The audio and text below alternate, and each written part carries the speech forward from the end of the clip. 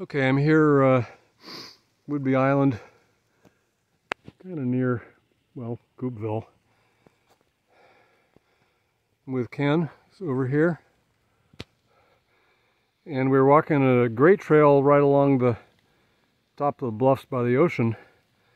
But then there's this really ancient forest on the plateau above the sea.